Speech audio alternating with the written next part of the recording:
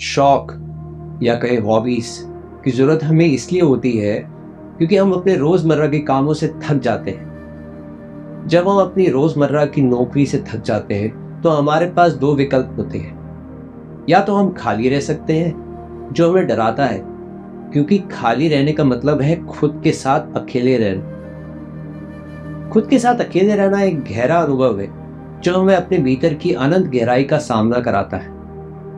और ये विशालता हमें डराती है। एक विकल्प है, जब तुम अपने रोज़मर्रा के कामों से खाली हो तो ध्यान करो। दूसरा विकल्प है, किसी मूर्खतापूर्ण गतिविधि में व्यस्त हो जाओ, और उसे हॉबी करो। कुछ लोग फ्रिज मैग्नेट इकट्ठा करते हैं, और इसे हॉबी कहते हैं, और सभी हॉबीज ऐसी ही होती हैं, ये खुद से भागने के तरीके। मैं खुद के साथ अकेले रहकर पूरी तरह से आनंदित हूँ। बिना कुछ किए अकेले रहना एक इतना गहरा अनुभव है कि अगर तुमने इसे एक बार चखा तो तुम इन मूर्खतापूर्ण गतिविधियों को छोड़ दोगे।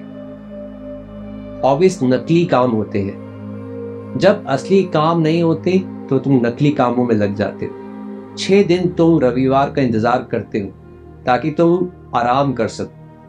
अपने साथ रह सको। और जब रविवार आता है तो तुम फिर से व्यस्त हो जाते हो। अब ये तुम्हारी हॉबी है।